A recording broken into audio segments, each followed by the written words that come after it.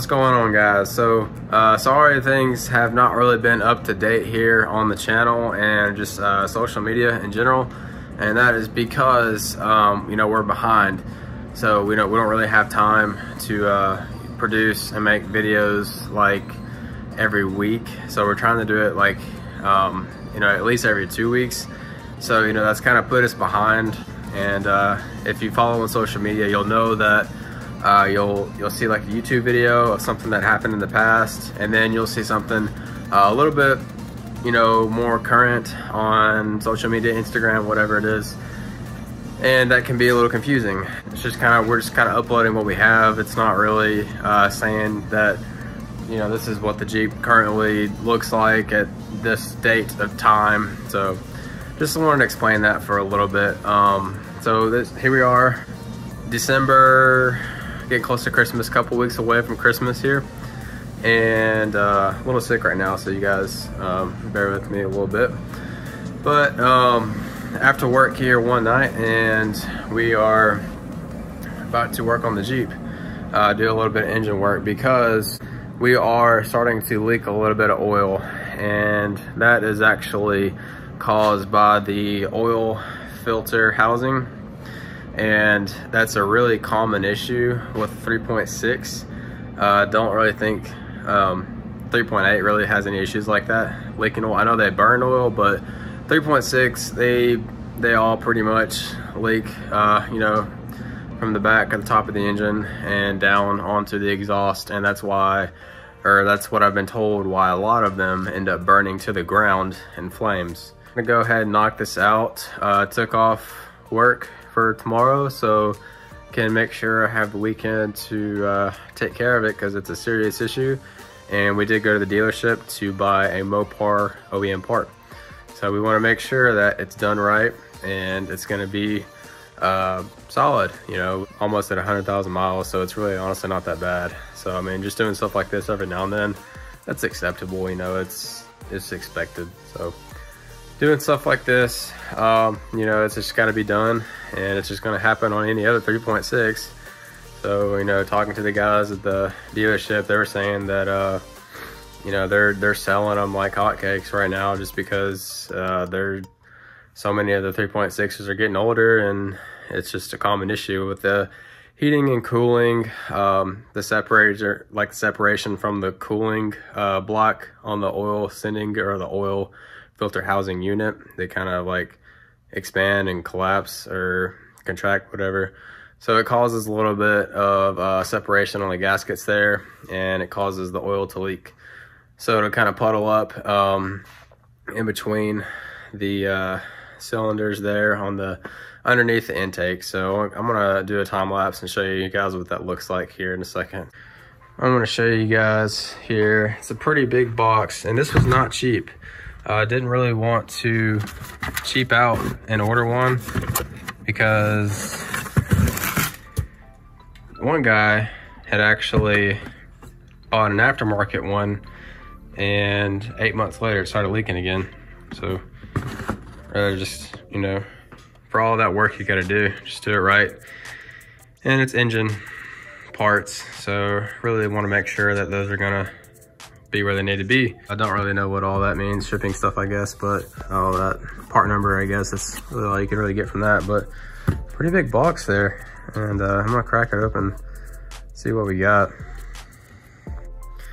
And guys, uh, so the reason why things seem more frequently uh, changing on like social media and stuff like that is because it's being older uh, content being posted. So, you know, we're not always uh, posting or filming behind the scenes stuff. So, you know, when we do film, it's usually on weekends or not for several months. Things aren't really changing that frequently, but when they do, uh, it's just because of deals and stuff that just kind of pop up and we just kind of happen to take. So, I mean, and we're also really trying to stay uh, productive and really creative with it all. So, you know, we're always thinking about it, how we can make it better, you know, with what we have.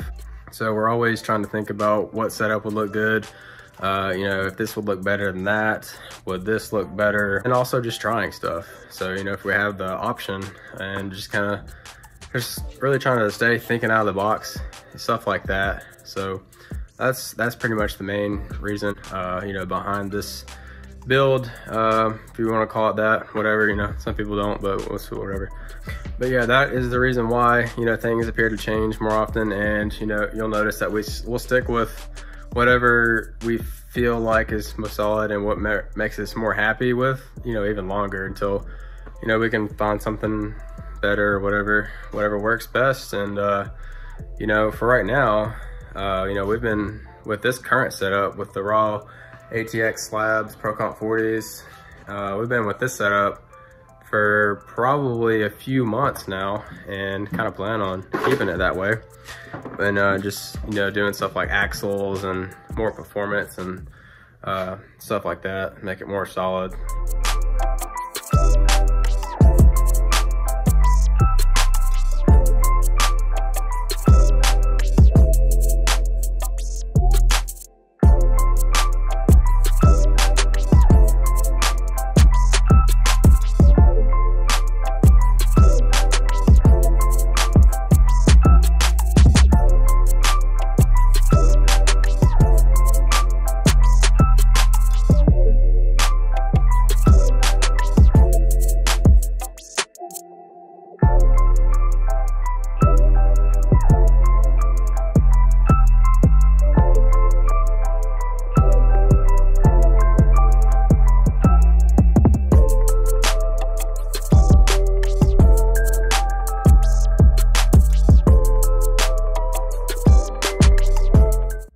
Looking at this is really nice being OEM, you know, having the bolts already in there and they don't come out because they, you know, I got restrictions right there. So that's nice. That's awesome.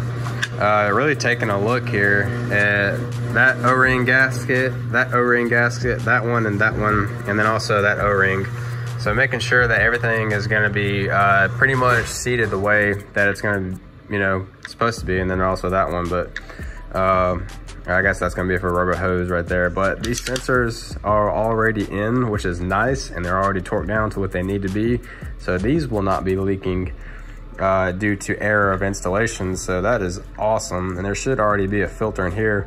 Better be a filter in there for how much this thing costs, but you guys know what I'm saying. There's the unit right there, and that's what we are about to replace.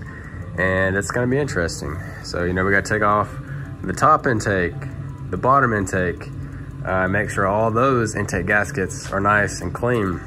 And we did replace those uh, last time we did this oil pressure switch right here.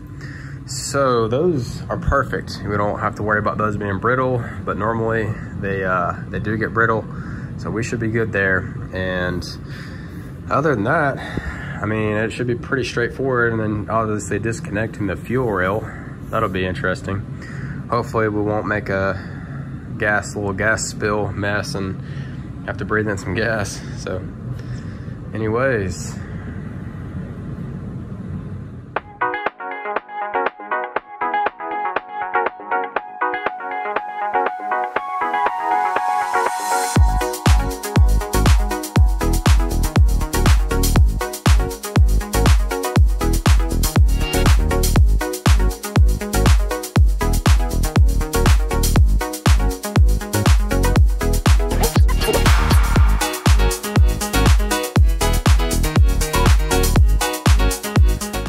right, guys, so about an hour, hour and a half, maybe two hours into this. Uh, got everything off, got it down to the block, you know, on the intake, of course. So nothing too crazy. Getting the top and bottom intake off. The Make sure you guys are pulling the, uh, see, fuel pump uh, fuse there and then kind of running out of gas while you can. So that way when you pull the, um, uh, which I'm, it's so I'm so tired. My mind's going blank here. Um, the fuel line off of the fuel rail there uh, doesn't spew gas out. So just a little tip there for you guys. So I uh, got the bottom intake off right here. Looking good. Um, you know, as I told you guys, did replace all these intake gaskets, uh, all 12. And uh, these are kind of wanting to pop out a little bit, these top three. I guess they kind of expanded a little bit, stretched for some reason, even though they're not even like six months old. So there's that. Uh, I might freeze them or something or put them in the fridge or something, make them colder so they'll stay in so they'll, you know, hold shape until they get pressed again uh, on upon installation. But yeah, got that off and really just used um, 8 millimeter, 10 millimeter, uh, a couple, you know, wire strippers, um, some extensions. I uh, did not need the Torx. That was actually for the fuel rails. Didn't actually take those off. Um, yeah, some a lot of 10 millimeters and good stuff like that. Um, tried to really pull the wires back and see I got all that tie back real nice and uh, tried to get the most bang for my buck there. And uh, now that we got that out of the way, you guys can see uh, throttle body down there. Just random stuff everywhere right now, but uh, we're down. We are down to the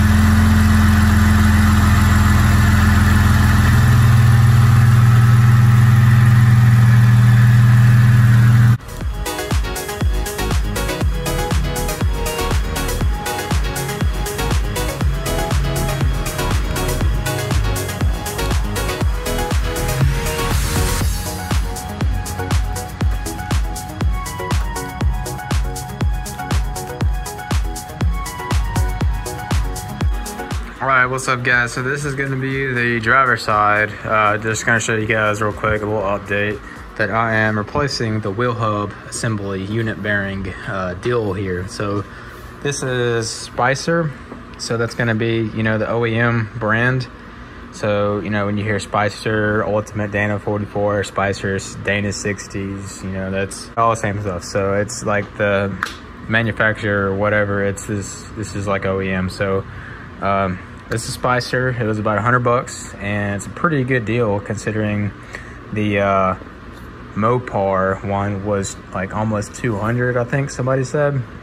That could have just been where they got it from, but uh, really not sure the deal on that there because I mean, it's to my knowledge, it's like the same thing. So anyways, the box and the packaging, it was not good. It was just like in a thin little box. So, you know, these are pretty heavy. Um, don't really can't really compare it to like a size of weight, but probably like uh, 10 pounds or so, maybe more. So, you know, obviously getting thrown around during shipping, this sensor can be broken off or crimped or, you know, something like that, smashed or ripped or anything weird like that. But surprisingly, it was still in the box. The box was pretty much uh, ripped open by the time it arrived at my house. So it's, um, still intact obviously. You can't really hurt this unless you you know throw it down a skyscraper but it's uh you know still there's no play or anything funny. There's no marks. There's no dings dents cracks or anything weird out of the ordinary so i think we're good there. But it was covered in dust from all of the cardboard being uh, shaved and grounded all over the place so uh, anyways got it cleaned up for the most part looks good. You know, just a factory Dana 30, Dana 44. Yes, they are the same. Um, hub unit bearing assembly here. So got the new ABS sensor. That's awesome. That's gonna help us out a lot. Hopefully that'll get our uh, ABS working good there. So about to pop this tire off, may do a rotate while I'm in here and uh, get this swapped out because as you guys know, we did swap out the uh, passenger side one uh, with an OEM one from another axle, and that one's pretty much brand new. So we're gonna have two new unit bearings up here rolling nice and smooth and uh, no play whatsoever. And that'll be rolling probably for, I don't know, about 100K miles, probably less than that because, you know, these have lasted about 100K. So a little bit more offset here, so probably probably less for sure. Uh, not gonna be as much mud as the previous owner did, so it might last about that long. So either way, we'll be good for a while. So, uh, you know, this is what we have to do on an aftermarket Dana 44 either way. So, you know, having this thing fully trussed and gusseted with ball joints, its housing's plenty strong for the street and what we use it for. So its uh, main sole purpose is to get us to work and back every day. So that's really our main concern right now. So we're not really uh, too worried about having the bigger differential in the front and axle shafts uh, you know, that would be the pros and cons of having, uh, you know, the the built 30 and then the aftermarket 44 uh, or Rubicon 44. Um, yeah, so you know, we got all that suited out and uh, ready to go. So, you know, eventually not spend the money right now since we already have all this pretty much done. Uh, save for one tons in the future. So, um, you know, don't want to spend any more money on factory axles or 44s or anything like that. So, all right, so here is the new wheel bearing. It is on. I uh, got it off. Got the old one off pretty easily. Just pounded right off. So that was, uh, you know, quick and easy. Didn't have to use any penetrating oil or WD-40, anything weird like that. So uh, I got the brake assembly off as one, just for those two large 18 millimeter bolts. Didn't have to take off the caliper from the bracket itself, so that's nice. Um, that worked out good. Got the uh, the new one seated on really well. I got the new sensor there. That looks great. Got that ran with the uh, brake dust shield uh, placed properly. So all that's lined up. Got these bolts torqued to uh, 75 foot-pounds. So that's what it called for on mine. You know, around there, I probably went about 80 foot-pounds or something like that. So it's uh, around that neighborhood, probably good. But uh, about to throw this axle nut on and torque that down to uh, I think 100 is what that calls for so get that on there and apparently you don't want that too tight um, or too loose obviously but uh, you know the preload on the bearing it'll probably wear it out over time quicker I guess if you don't torque this axle nuts right here properly so gonna make sure that's done and run this new ABS line back up to the frame get that back connected. Should be good to go, ready to roll.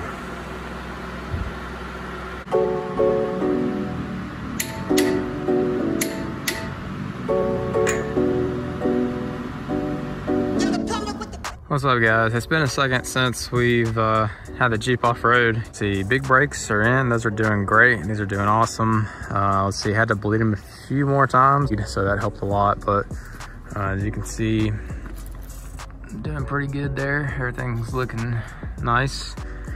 Got a little bit of pop in the steering box, I think. So probably gonna have to look at a hydro assist, but not right now. You know, being fully truss gusseted, ball joints, all that stuff. Um, you know, need to do upgraded steering here soon. Got the Synergy tie rod, but need to uh, get the flip drag too. So I might just do a whole new kit, like a, uh, probably like a rock crawler full kit or something like that. That would be nice, something nice, beefy and fresh, and that'll help a lot. Uh, you know, with all the stability on road and just overall safety. So yeah, just uh, got it out here on the trail real quick and just thought I'd show you guys a little update. Doing pretty good.